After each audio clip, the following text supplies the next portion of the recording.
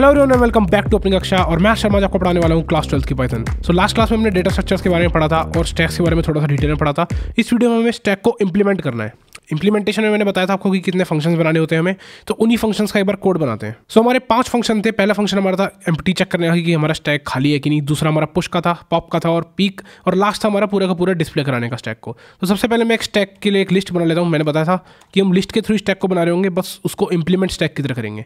तो एक मैं सबसे ऊपर एक लिस्ट बना लेता हूँ एस नाम की, अब ये हमारा स्टैक है। इसके ऊपर हम सारी चीज़ें करेंगे। तो पहला फ़ंक्शन बनाते हैं चेक करने के लिए कि हमारा स्टैक एम्प्टी है कि नहीं। सो हम डिफाइन करते हैं इस एम्प्टी नाम का एक फ़ंक्शन इसके अंदर अपने स्टैक को ऐसे पैरीमीटर देंगे। अब मेरे को चेक करने की एस के जो हमारा स्टैक है मतलब ये एस है, लेकिन ये एस टी के क्योंकि ये पैरामीटर है, ताकि कन्फ्यूज़न ना हो, इसलिए इनको अलग अलग नाम दिए गए हैं। तो अगर मेरे को चेक करने की एस टी खाली है कि नहीं तो मैं कैसे कर सकता हूँ? एस टी मुझे पता है कि लिस्ट ही है तो इसको मैं ऐसे कर लेता हूँ। If S T K equal to equal to एक खाली लिस्ट उस केस में मेरे को क्या रिटर्न कर देना है? ट्रू यानी कि हमारा जो स्टैक है, वो खाली है। इज़ एम्प्टी ट्रू और अगर ऐसा ना हो, यानी कि स्टैक जो है वो एक खाली लिस्ट नहीं है, उस केस में फॉल्स रिटर्न कर देंगे।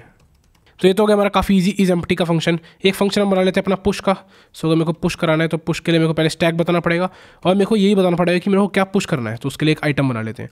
सो मेरे को स्टैक के अंदर आइटम पुश करना है। सो अब मुझे पता है अगेन एस की हमारी लिस्ट है तो लिस्ट के अंदर पुश करने का मेरे पास क्या ऑप्शन होता था? तो अगर मेरे को लिस्ट के अंदर कोई भी एलिमेंट डालना होता है, अब जैसे स्टैक के अंदर हम टॉप पे डालते हैं लिस्ट के अंदर अगर मेरे को एंड में डालना होता है, उसके लिए मैं यूज़ करता था अपेंड फ़ंक्शन तो मैं एस टी के यानी स्टैक जो हमारी लिस्ट है, उसके अंदर अपेंड कर सकता हूँ किसको? आइटम को। तो इसमें क्या होगा? जैसे हमारा स्टैक है स्टैक के अंदर टॉप पे हमारा आइटम आएगा, वैसी लिस्ट में एक तरह से एंड में आइटम आएगा। सो स्टैक में टॉप की जगह मैंने क्या करा? लिस्ट में अपेंड कर दिया। बट यहाँ पर मैंने एक चीज़ बताई थी कि हमें एक टॉप भी मेंटेन करके चलना होता है। सो यहाँ पर हमें पुश के दौरान उस टॉप टॉप को छेड़ने की ज़रूरत पड़ेगी। तो यहाँ पर मैं एक टॉप भी डिफाइन कर देता हूँ स्टार्टिंग में उसको नन कर देता हूँ। तो स्टार्टिंग में हमारा टॉप नन है बट जब मैंने उसके अंदर एक एलिमेंट डाल दिया अब टॉप की वैल्यू क्या होगी? अब टॉप की वैल्यू हम डिसाइड करेंगे कि उसके अंदर कितने एलिमेंट है।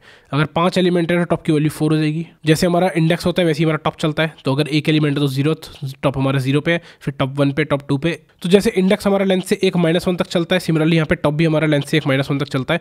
तो मान लेते हैं, अगर चेक के अंदर पाँच एलिमेंट है तो हमारा टॉप कहाँ पे होगा? पाँचवें एलिमेंट पे, जो हमारा सबसे टॉप पर है, और उस पर टॉप की वैल्यू कितनी होगी? फोर होगी उस पर जैसे इंडेक्स की होती है।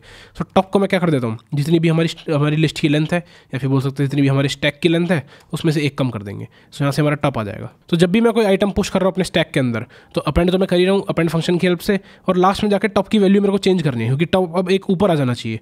तो मैं क्या करूँगा, जितनी भी स्टैक की लेंथ है, उसमें से एक माइनस तो जैसे अगर दस लेंथ है तो नाइन पे आ जाएगा वो।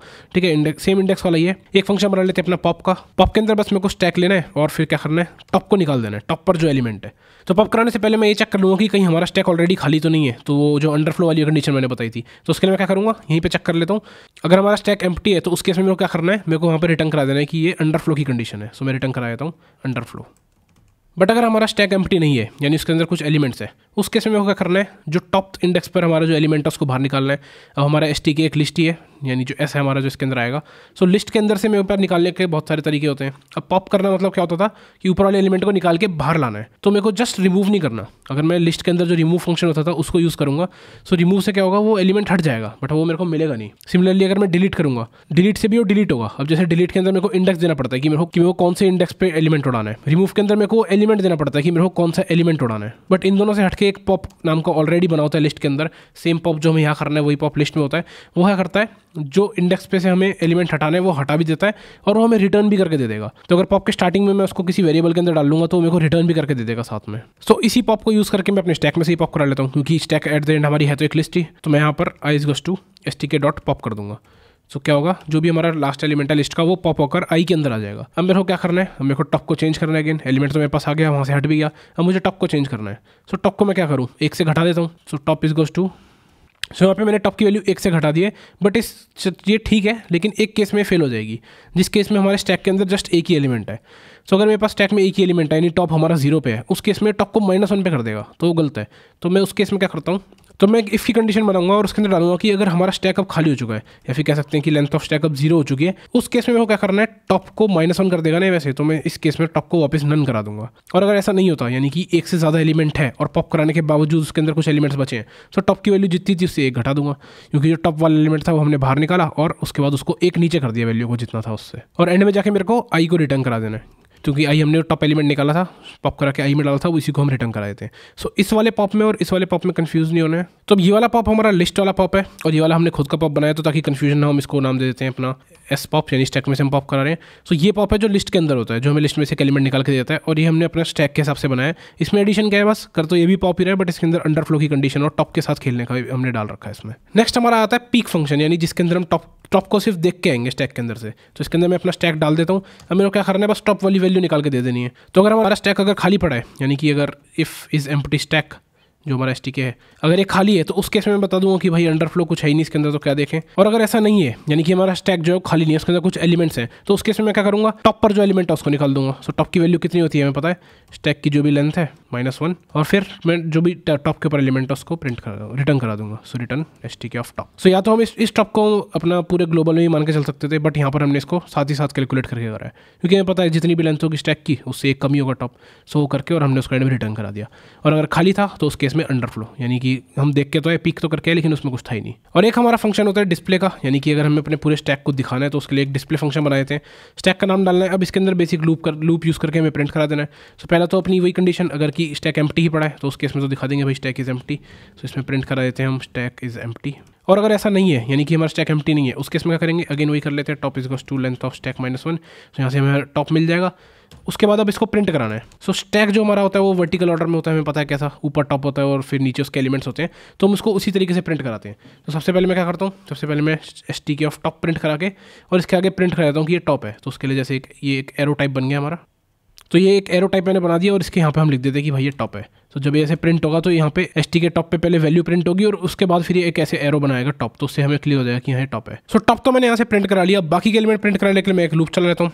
So for I in range और इसको मैं चला लेता हूँ। कहाँ से? टॉप तो हो चुका है सो टॉप से एक पहले से। अब मेरे को ज़ीरो तक चलाना है। और ये आपको हमें पता है कि फॉर के अंदर जो रेंज डालते हैं वो इंक्लूसिव नहीं होती। तो लास्ट से जस्ट एक पहले तक चलता है। तो मेरे को माइनस वन डालना पड़ेगा। और लूप उल्टा चल रहा है तो उसके लिए मेरे को इसका स्टेप भी माइनस वन देना पड़ेगा। सो उल्टा चल रहा है, इसको चला देते हैं। अब करना क्या है? जस्ट प्रिंट कराते जाते हैं। तो स्टैक ऑफ़ आई और बाकी अपने अपने न्यू लाइन कर करके इनको नीचे प्रिंट करा देगा। सो ये लाइन समझ आ गई होगी जस्ट ऐसे टॉप पे पॉइंट कराने के लिए कि हमारा पहला एलिमेंट है टॉप है, इसको करेंगे। अभी जो इसका हम आउटपुट देखेंगे, जो आपको क्लियर हो जाएगा इसका यूज़ क्या था। अब हम अपना मेन प्रोग्राम यहाँ से लिखना स्टार्ट करते हैं, जिसके अंदर हम स्टैक की इम्प्लीमेंटेशन स्टार्ट करेंगे। तो सबसे पहले हम चॉइसिस देंगे यूज़र को। यानी मान लेते हम एक यूज़र को यूज़ करा रहे हैं तो यहाँ पे हम दे देते हैं कि हमारा एक स्टैक इंप्लीमेंटेशन का प्रोग्राम है।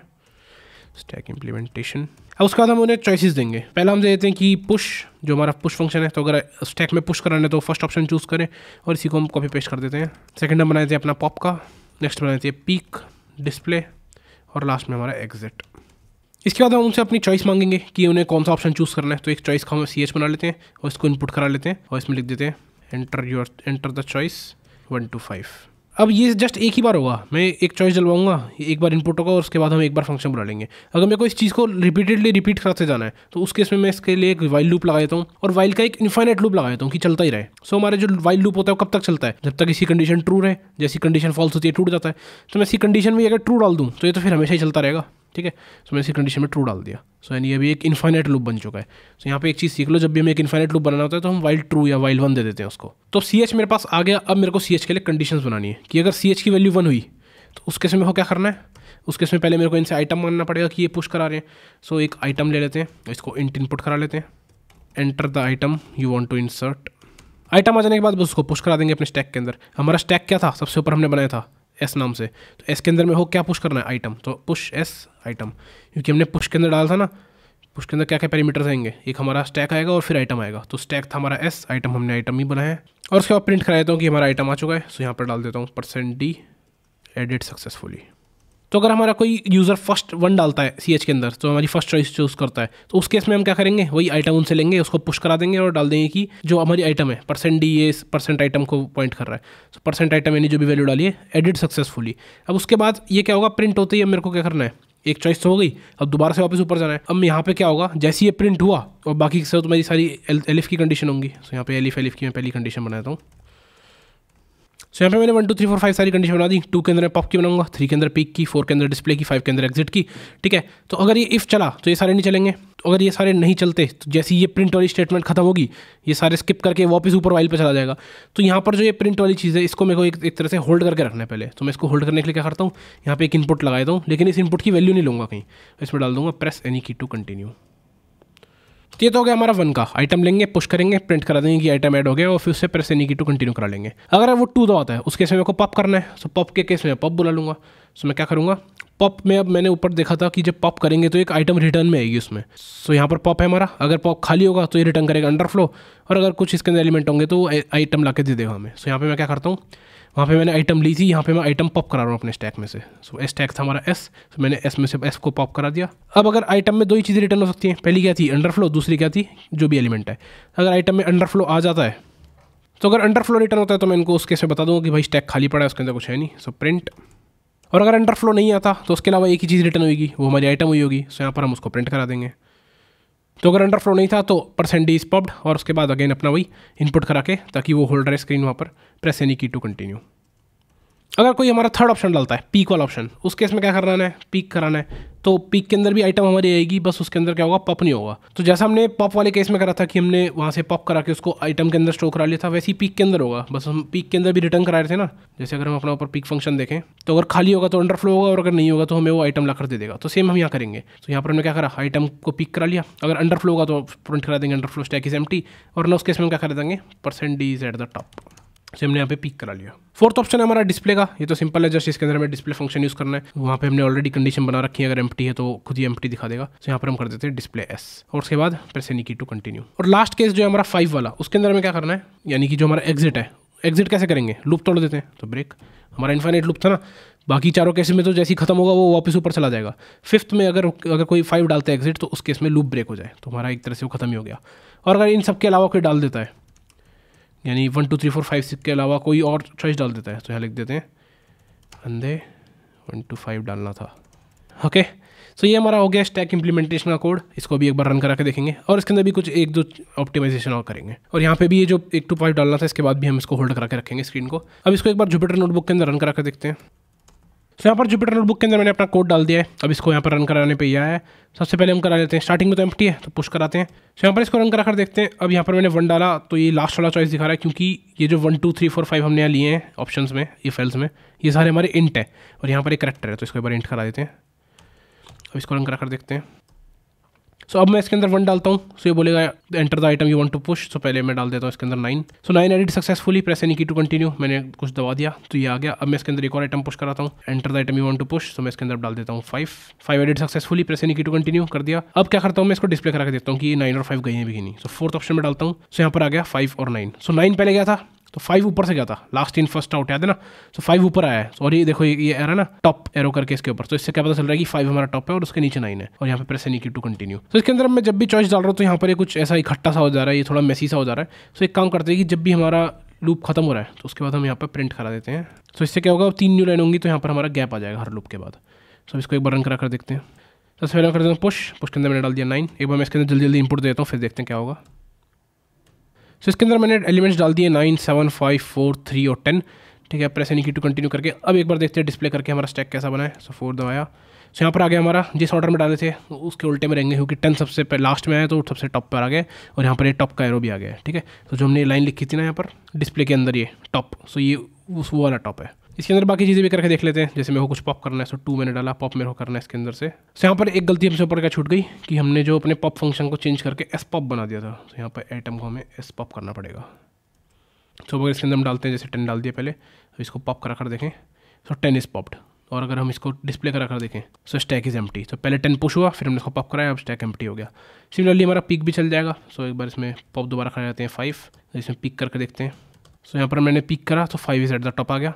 और लास्ट हमारा क्या है? एग्जिट फाइव दवा थी हमारा इससे बाहर आ गया। तो ये था हमारा पूरा कोड कैसे हम स्टैक को इम्प्लीमेंट करते हैं पाइथन के अंदर। सो इससे अब समझ आ गया होगा कि स्टैक एसलेस में एक लिस्ट ही है। बस उसके लिए हमने खुद के फ़ंक्शन बना दिए हैं और उस फ़ंक्शन के थ्रू हम उसको अब इंप्लीमेंट कर रहे हैं। ठीक है? सो पेपर में तो कभी ऐसे पूरा पूछेंगे नहीं कि आके पूरा स्टैक इंप्लीमेंट करो बट इससे अब आपको समझ आ गया कि हमारा स्टैक वर्क कैसे करता है। तो बाकी आपको खुद प्रैक्टिस करनी है, खुद स्टैक बनाकर देखो अपने पाँचों फ़ंक्शन और ऐसी करो, जहाँ गलती होंगी कोड से चेक करो कोड आपको डिस्क्रिप्शन में मिल जाएगा। सो इतना था वीडियो के लिए, मिलता हूँ सभी से नेक्स्ट वीडियो में। Till then eat well sleep well and study well